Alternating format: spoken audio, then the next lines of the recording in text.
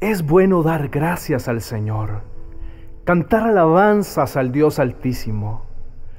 Es bueno proclamar por la mañana tu amor inagotable y por la noche tu fidelidad, al son de un instrumento de diez cuerdas, un arpa y la melodía de la lira. Todo lo que has hecho por mí, Señor, me emociona. Canto de alegría por todo lo que has hecho. Oh Señor, qué grandes son tus obras y qué profundos son tus pensamientos. Solo un simplón no sabría y solamente un necio no entendería que, aunque los malvados broten como maleza y los malhechores florezcan, serán destruidos para siempre.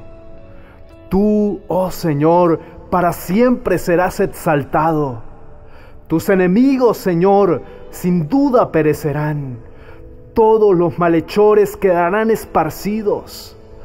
Pero tú me has hecho fuerte como un buey salvaje, me has ungido con el mejor aceite. Mis ojos vieron la caída de mis enemigos, mis oídos escucharon la derrota de mis perversos oponentes.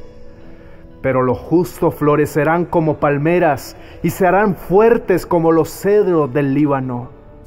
Transplantados a la casa del Señor, florecen en los atrios de nuestro Dios.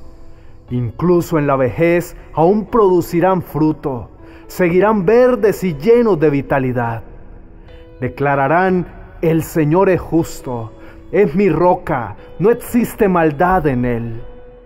Amado Dios, en este momento te alabo y bendigo tu nombre por todo el amor que has derramado sobre mi vida. Padre, Estoy maravillado por tus poderosas obras, por las maravillas que has creado a mi alrededor, las cuales me recuerdan día a día que tú eres poderoso. Padre Santo, declaro inoperante toda obra que el enemigo quiera interponer sobre mi vida, sobre mi familia, sobre mi trabajo.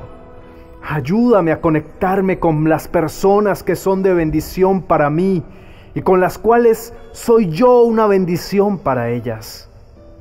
Aleja de mi vida todo lo que me hace daño y no sirve. Hoy, en el nombre de Jesús, te pido que aumentes mis fuerzas como las del búfalo. Renuncio a toda debilidad y cansancio y me lleno de la fuerza de Dios. Ayúdame a dar fruto, abundante fruto Dame la sabiduría y capacidad para servirte y ser fiel con un corazón humilde y obediente. Hoy, mi Señor, permanezco plantado en los atrios de tu casa, unido a la iglesia para ser como un árbol que está plantado junto a las corrientes de tu agua viva, un árbol fértil y lleno de vitalidad. Padre, Decido seguir creciendo para ser de bendición y proclamar la verdad de tu palabra y tu justicia. En el nombre de Cristo Jesús. Amén y amén.